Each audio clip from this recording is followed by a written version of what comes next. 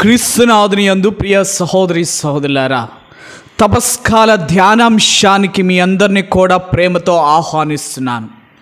ఈనాటి ధ్యానాంశము మత్తై స్వార్త ఇరవై మూడవ అధ్యాయము పవిత్ర వచనములు ఒకటి నుండి పన్నెండు వరకు తీసుకోబడినది.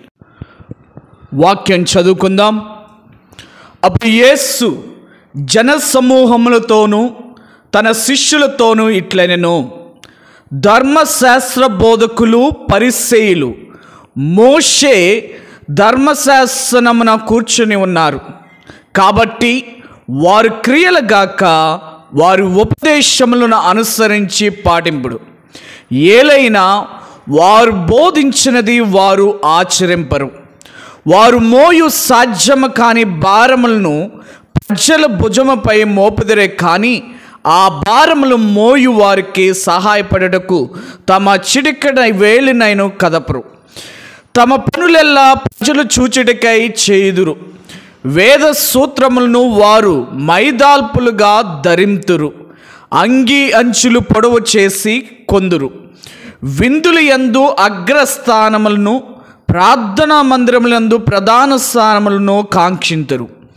అంగడి వీధుల్లో వందనములు అందుకొనుటకు బోధకుడా అని పిలిపించుకొనుటకు వారు తహతలాడుదురు మీరు బోధకులు అని పిలిపించుకొనవలదు. ఏలైనా మీ బోధకుడు ఒక్కడే. మీరందరూ సోదరులు. ఈ లోకమున మీరు ఎవ్వరిని కానీ తండ్రి అని సంబోధింపవలదు. మీ తండ్రి ఒక్కడే. ఆయన ప్రలోకమందున్నాడు. మీరు గురువులని పిలిపించుకొనవలదు. ఏలైనా క్రీస్తు ఒక్కడే మీ గురువు. మీ అందరిలో గొప్పవాడు మీ సేవకుడై ఉండవలెను. తనను తాను హెచ్చించుకున్నవాడు తగ్గింపబడును. తనను తాను తగ్గించుకునేవాడు హెచ్చింపబడును. క్రీస్తునాథుని అందు ప్రియ సహోదరి సహోదరులరా ఈనాటి ధ్యానాంశంలో తగ్గింపబడుట అంటే ఏంటి? అన్న విషయం గురించి మనందరం కూడా ధ్యానించుకుందాం. ఇక్కడ వాక్యంలో చూస్తున్నట్లయితే పరిశీలు ధర్మశాస్త్ర బోధకుల గురించి చాలా క్లుప్తంగా వివరిస్తున్నారు వారి యొక్క జీవితము గురించి మరి దేవుడు ఈరోజు వాక్యములో తెలియపరుస్తున్నారు ప్రియ సహోదరి సోదరులరా. మనం చూసినట్లయితే ధర్మశాస్త్ర బోధకులు ధర్మశాస్త్రాన్ని బోధించేటటువంటి వారు. దేవుడు చాలా క్లియర్గా చెబుతున్నాడు ప్రియ సహోదరి సోదరులారా. ఇదిగో వారి క్రియలను గాక వారి ఉపదేశములను అనుసరింపి పాటించుడు అనేసి రాయబడింది. ఇక్కడ వారి యొక్క క్రియలు వారు చేసేటటువంటి క్రియలు అనేవి వారి బోధనకు సంబంధం లేకుండా ఉంటున్నాయి. వారు బోధించినది వారు పాటింపరు ఆచరింపరు అనేసి దేవుడు తెలియపరుస్తున్నాడు ప్రియ సహోదరి సోదరులరా. కాబట్టి ధర్మశాస్త్ర బోధకులు పరిశీలు వారి యొక్క క్రియలు అనేవి అసభ్యంగాను అనేకమైనటువంటి చెడును చేకూర్చేటటువంటి విధంగా వారి క్రియలు ఉన్నాయి కాబట్టి వారి యొక్క క్రియలను మీరు పాటించవద్దు. మీరు వారి యొక్క ప్రవర్తనను అనుగుణంగా మీరు జీవించవద్దు అనేసి దేవుడు తెలిప తెలియపరుస్తున్నాడు ప్రియ సహోదరి సోదరులారా. కాబట్టి మన జీవితంలో వారు బోధించేవి వారు ఆచరింపరు అనేసి దేవుడు చెప్తున్నాడు కాబట్టి మనము ఏదైనా బోధిస్తున్నాము అంటే మనం ఏదైనా చెప్తున్నాము అంటే ఇతరులకి మంచి చెప్తున్నాము అంటే మనందరము కూడా మొట్టమొదటిగా మనము మన జీవితంలో ఆ మంచిని చేస్తేనే మనం ఇతరులకు బోధిస్తూ ఉండాలి ప్రియ సహోదరి సోదరులారా. చాలాసార్లు చాలా కొంతమందికి మరి ఇతరులని బాగుపరచాలని చూసుకుంటారే తప్ప వారిని వారు బాగుపరుచుకోరు. ఇతరులకి మంచి చెప్పాలని చూస్తారే తప్ప వారి జీవితంలో మంచి చేయరు ప్రియ సహోదరి సోదరులారా. కాబట్టి ముందుగా మనల్ని మనం చూసుకుంటూ ఉండాలి. అందుకే తెలుగులో సామెత ఉంటుంది ఇల్లు గెలిసి రచ్చగలం అంటున్నారు ప్రియ సహోదరి సోదరులారా. అంటే ఇంటిలో అంటే నీ జీవితము అనేది నువ్వు గెలవాలి నీ జీవితం అనేది మంచిగా ఉండాలి. అప్పుడు మాత్రమే ఇతరులకు బోధించవచ్చు అప్పుడు మాత్రమే ఇతరులకి మంచిని చెప్పవచ్చు ప్రియ సహోదరి సోదరులారా. కాబట్టి మన జీవితంలో ప్రతి నిత్యము కూడా మంచిని అలవాటు చేసుకుంటూ ఉండాలి. ఇక్కడ చూసినట్లయితే ధర్మశాస్త్ర బోధకులు బోధించినది ఆచరించటమే కాకుండా ఆచరించకపోవటమే కాకుండా వారి జీవితంలో ఎక్కడికి వెళ్ళినా ఎంత విందులకి ఎక్కడెక్కడ ఫంక్షన్లు జరిగినా కానీ అగ్రస్థానంలో ఉంటారు అనేసి రాయబడినది. విందులు ఎందును? అగ్రస్థానము ప్రార్థన మందిరములందును ప్రధాన స్థానంలో కాంక్షింతురు. అంగడి వీధిలో వందనములు అందుకొనటకు బోధకుడా అని వారు తహతహతలాడుతూ ఉంటారు అనేసి వాక్యం బోధిస్తుంది ప్రియ సహోదరి సోదరులరా. ప్రధాన స్థానము కోసము అగ్రస్థానము కోసము వారందరూ కూడా కాచుకొని ఉంటూ ఉంటారు. అది పొందుకోవటానికి అనేకమైనటువంటి క్రియలు అనేవి చేస్తూ ఉంటారు ప్రియ సహోదరి సోదరులరా. మానవ జీవితంలో కూడా చాలా మంది ఏం చేస్తూ ఉంటారంటే నన్ను మెచ్చుకోవాలి నా నేను చేసినటువంటి పనిని మెచ్చుకోవాలి అనేసి అనేక విధాలుగా మనందరము కూడా ఇతరులకు తెలియపరుచుకుంటూ మన డప్పు మనమే కొట్టుకుంటూ మనిషి జీవితం అనేది ఉంటుంది ప్రియ సహోదరి సహోదరులారా మనల్ని మనం హెచ్చించుకుంటూ ఉంటాము. దేవుడు ఈరోజు వాక్యములో చెబుతూ ఉన్నాడు నీవు ఎవరైతే తనను తాను హెచ్చించుకొని వాడు తగ్గింపబడతాడు. దేవుని దృష్టిలో తనను తాను హెచ్చించుకున్నవాడు తగ్గింపబడతాడు తనను తాను తగ్గించుకున్నవాడు హెచ్చింపబడతాడు.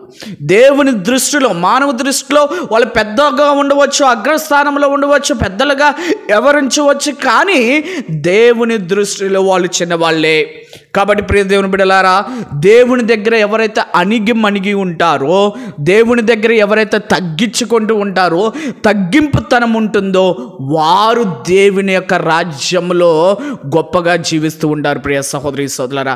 మనం చూసినట్లయితే ధనికుడు లాజర్ యొక్క ఉపమానంలో కూడా చూడవచ్చు ప్రియ సహోదరి సోదరులారా. ఎప్పుడైతే ఇరుగురు మరణించినప్పుడు లాజర్ను దేవుడు పేదవాడైనటువంటి లాజర్ను పరలోక రాజ్యంలోకి వెళుతూ ఉన్నాడు ధనికుడు నరకాగ్నిలోకి వెళుతూ ఉన్నాడు ప్రియ సహోదరి సోదరులారా. పేదవాడిగా ఉన్న గరీబు జీవితాన్ని జీవించినటువంటి లాజరు మరి దేవుని దృష్టిలో గొప్పవాడు ధనికుడు ఈ లోకంలో ధనిక ధనం ఉన్నా కానీ ఐశ్వర్యం ఉన్నా కానీ అంతస్తు ఉన్నా కానీ పేరున్నా కానీ పలుకుబడి ఉన్నా కానీ దేవుని దృష్టిలో అతను తక్కువ వాడే ప్రియ సహోదరి సోదరులరా. కాబట్టి మనందరము కూడా ఎంత ఎత్తుకైతే వెళుతూ ఉంటామో మన జీవితంలో ఎంత ఎత్తుకైతే మనము వెళ్ళటానికి ప్రయత్నం చేస్తూ ఉంటామో అంత తగ్గింపు పడాలి ప్రియ సహోదరి సోదరులరా. చాలామంది అందంగా ఉన్నట ఉన్నాననేసి గర్వంతో జీవిస్తూ ఉంటారు. చాలామంది నా దగ్గరే డబ్బులు ఉన్నాయనేసి గర్వంతో జీవిస్తూ ఉంటారు.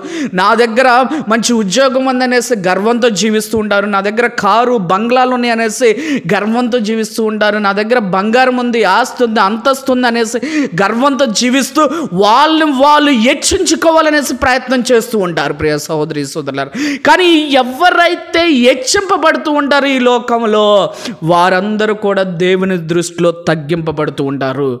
కాబట్టి మనము ఒక సామాన్యమైనటువంటి జీవితాన్ని జీవిస్తూ ఎన్నున్నా కానీ ఆస్తున్నా అంతస్తున్నా పేరున్నా పలుకబడున్నా ఇవన్నీ కూడా దేవుడిచ్చినయే అనేసి మనందరము కూడా గ్రహిస్తూ మనల్ని మనము తగ్గించుకొని జీవిస్తూ ఉండాలి ప్రియ సహోదరి సోదరులరా.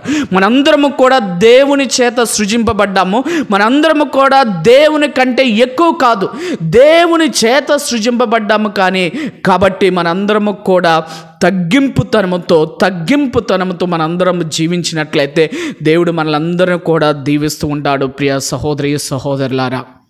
కాబట్టి మనిషి యొక్క జీవితంలో ప్రతి నిత్యము కూడా దేవుని కోసం ప్రాకులాడుతూ దేవుని దగ్గర అణిగిమణిగి ఉంటూ దేవుని యొక్క శిష్యులుగా దేవుని యొక్క ఇష్టమైనటువంటి బిడ్డలుగా మనందరము జీవిస్తూ ఉండాలి. ప్రియ సహోదరి సోదరులరా ఎప్పుడైతే మనందరము గర్వముతో జీవిస్తూ ఉంటామో అహంభావంతో జీవిస్తూ ఉంటామో మన జీవితంలో దేవుని యొక్క వరాలు పొందుకోలేము.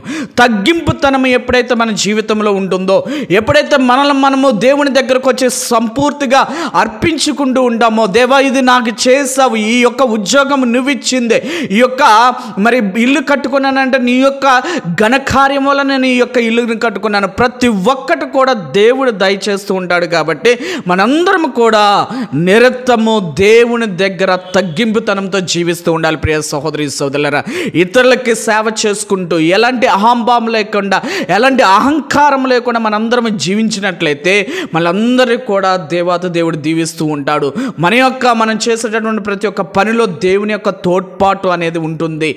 మన యొక్క జీవితంలో దేవుడు అనేకమైనటువంటి అద్భుతాలు ఇస్తూ ఉంటాడు. ఇంకా దేవుడు రెట్టింపుగా దీవిస్తూ ఉంటాడు ప్రియ సహోదరి సోదరులరా. కాబట్టి మన దగ్గర ఏ విధమైనటువంటి విలువైనటువంటి మరి వస్తువులన్నా కానీ జీవితమన్నా కానీ మనందరము కూడా దేవుని దృష్టిలో పిల్లలం మాత్రమే. కాబట్టి దేవుడిచ్చినటువంటి ప్రతి ఒక్క దానికే మనందరము కూడా దేవునికి కృతజ్ఞత తెలి తెలియపరచుకోవాలి. అందుకే పునీత పౌలు గారు చెబుతూ ఉంటారు ఇదిగో నువ్వు గొప్పలు చెప్పుకోవాలి అంటే దేవుని అందు గొప్పలు చెప్పుకో. నేను దేవుని యొక్క పుత్రుణ్ణి నేను దేవుని యొక్క పుత్రికని దేవుడు ప్రతి నిత్యము కూడా ఇది నాకు దయచేస్తున్నాడు ప్రతి నిత్యము కూడా నాకు ఇది ఇచ్చి ఉన్నాడు దేవుని వలన నేను ఈరోజు ఈ స్థాయికి వచ్చి ఉన్నాను అనేసి ప్రతి నిత్యము దేవుని యందు గొప్పలు చెప్పుకుంటూ ఉండాలి. ప్రియ సహోదరి సోదరులారా మనము గురించి మనము గొప్పలు చెప్పుకో చెప్పుకోవటం కాదు. ఇతరులు మన మంచితనాన్ని చూసి ఇతను గొప్పవాడు అనేసి ఇతరులు చెప్తూ ఉండాలి. మనము కూడా అది స్వీకరించినప్పుడు ఇది దేవుని వలన కలిగింది కాబట్టి దేవుని ఎందు మనందరము కూడా గొప్పలు చెప్పుకుంటూ ఉండాలి ప్రియ సహోదరి సోదరులరా. అందుకే దేవుడు ఈరోజు చెప్తూ ఉన్నాడు. ఇదిగో మత స్వాత ఇరవై మూడు పదకొండు చూసినట్లయితే మీ అందరిలో గొప్పవాడు మీకు సేవకుడై ఉండవలయను అనేసి రాయబడింది. ఈ లోకంలో ఎవరైతే గొప్పవాడుగా ఉంటాడో వా వారు సేవకుడుగా జీవించాలి అనేసి మరి దేవుని యొక్క వాక్యం సెలవిస్తుంది ప్రియ సహోదరి సోదరులరా. కాబట్టి మనందరము కూడా ఎంత గొప్పగా ఎదుగుతుంటే అంత తగ్గించుతనంతో తగ్గింపుతనంతో మనందరము జీవిస్తూ ఉండాలి. మనము సేవకులుగా ఇతరులకు సేవ చేస్తూ మనందరం జీవిస్తూ ఉండాలి ప్రియ సహోదరి సోదరులరా. ఇతరులకు ఎప్పుడైతే సేవ చేస్తూ ఉంటామో ఆ సేవ ద్వారా దేవుడు మనల్ని అందరం కూడా దీవిస్తూ ఉంటాడు. మనకున్నటువంటి ఆస్తి బట్టి అంతస్తుని బట్టి ప్రతి కొంచెము కూడా ఇతరులకు సేవ చేయగలిగితే దేవుడు మనల్ని దీవిస్తూ ఉంటాడు. అందుకే దేవుడు చెప్తుంటాడు ఇదిగో నేను సేవింపటకు రాలేదు నేను సేవ చేయటానికే వచ్చి ఉన్నాను. సేవింపబడటకై నేను రాలేదు సేవ చేయటానికి వచ్చి ఉన్నాను అనేసి దేవుడు చెప్తున్నాడు ప్రియ సహోదరి సోదరులరా. కాబట్టి దేవుడు ఎలాగైతే ఒక సేవకుడిగా ఒక మామూలు మనిషిగా ఈ లోకంలో జన్మించి ఉన్నాడో ఒక గొప్ప అంతస్తులో లేకపోతే ఒక రాజభవనంలో దేవుడు జన్మించలేదు. పూరి పాకలో పశువుల పాకలో దేవుడు నిర్మించి ఉన్నాడు ప్రియ సహోదరి సోదరులారా. ఒక మామూలు పేదరాలైనటువంటి ఒక మరే తల్లి ద్వారా ఈ లోకంలోకి వచ్చి ఉన్నాడు ప్రియ సహోదరి సోదరులారా. మరి ఏ రాజుల వల్ల దేవుడు జన్మించలేదు ఒక సామాన్యుడిగా దేవుడు ఈ లోకంలో జన్మించి ఉన్నాడు. కాబట్టి తనను తాను రిక్తుని చేసుకొని సేవక రూపము దాల్చిన అనేసి బైబిల్ గ్రంథంలో చదువుకుంటున్నాం. కాబట్టి దేవుడు తనను తాను తగ్గించుకొని సేవకుడిగా ఈ లోకంలో జీవించి ఉన్నాడు. ఎంతో మందికి సేవ చేసి ఉన్నాడు ప్రియ సహోదరి సోదరులారా కాబట్టి మనము కూడా నిరంతరము ఎంత గొప్ప స్థానానికి వెళుతూ ఉంటే ఎంత గొప్పవాడిగా మనందరినీ కూడా ప్రజలు ఆదరిస్తూ ఉంటే అంత తగ్గింపు తనముతో మనందరము జీవిస్తూ ఉండాలి. అప్పుడు దేవుడు మనకు కావలసినటువంటి వరాలు ఇస్తూ ఉంటాడు ప్రియ సహోదరి సోదరులరా. కాబట్టి ఈరోజు ప్రత్యేక విధంగా మనందరము కూడా ఆత్మ పరిశీలన చేసుకుందాం. మనం ఎలా జీవిస్తున్నాము? తగ్గింపుతనంతో ఉంటున్నామా? అహంభావం అహంకారంతో మనల్ని మనం గొప్పలు చెప్పుకుంటూ మన యొక్క డప్పు మనం వాయించుకుంటూ మనందరం జీవిస్తున్నామా? ఆత్మ పరిశీలన చేసుకుందాం. ఈ తపస్కాలంలో తగ్గింపుతనంతో మనందరం జీవించడానికి కావలసినటువంటి శక్తిని దయచేయమని ఆ దేవాతి దేవుని ప్రార్థన చేసుకుందాం. పరిశుద్ధులు ప్రేమగల తండ్రి గడిచిన కాలమంతా మమ్మల్ని అందరిని దీవించి కాచి కాపాడేందుకు వేలాది వందనాలు తండ్రి. ఈ వాక్యం ఇచ్చినటువంటి ప్రతి ఒక్క బిడ్డను ఆశీర్వదించండి దీవించండి. తండ్రి ప్రతి నిత్యము కూడా మేమందరము ఎంత గొప్ప స్థానానికి వెళితే అంత తగ్గింపుతనంతో జీవించే భాగ్యాన్ని దయచేయండి తండ్రి. ఎల్లప్పుడూ నీ కృపలో బలపడే భాగ్యాన్ని దయచేయండి తండ్రి.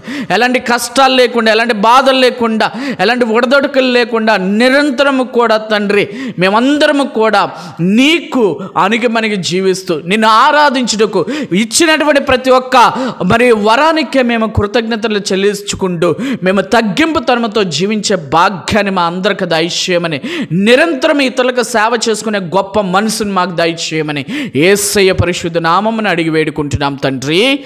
ఆమెన్. ప్రభు మీతో ఉండునుగాక మీ ఆత్మతో ఉండునుగాక సర్వశక్తి గల సర్వేశ్వరుడు పిత్త పుత్ర పవిత్రాత్మ మేమందరినీ ఆశీర్వదించి దీవించి కాచి కాపాడునుగాక. ఆమెన్.